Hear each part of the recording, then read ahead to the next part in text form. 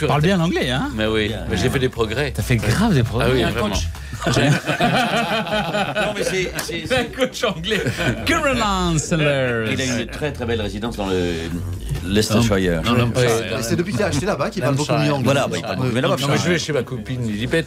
Euh, alors, on va retrouver. Il est reçu, il est reçu par la famille royale. Je l'ai vu sonner euh, au château. Oui, c'est vrai. Et, et, et, et reçu. À 3 heures Bien du sûr. matin. je te crois pas. Ah, bah, Oui, bien sûr. Tu sonnes comme si tu sonnais chez un Ah copain. oui Non, mais- Jamais. Mais bien sûr, mais bien sûr. Comment tu dirais, vas-y Hi, Ah, bah non, bah. Non, bah non. Bah non, non, bah, on est Ah, annoncé. c'est pas elle qui, qui répond Bah non, euh, Il Elle passe par la petite porte de derrière. Il a... Non, mais il- est rentré. Oh, il a- il a reçu et il promène les chiens de la personne.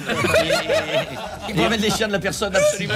Absolument. absolument. J'aimerais venir avec ça un jour. Ah, vous savez, quand vous êtes ami avec les chiens, après vous vous, vous, vous, Bien, êtes- bien vous sûr, bien attachez sûr, la maîtresse. Bien, bien sûr. Et souvent, on dit, alors est-ce vrai Ouais. ou pas, que les, les chiens et les maîtres se ressemblent. ressemblent, Voilà, voilà, absolument. voilà. Ah, Stéphane a des teckels. Oui, à poil dur.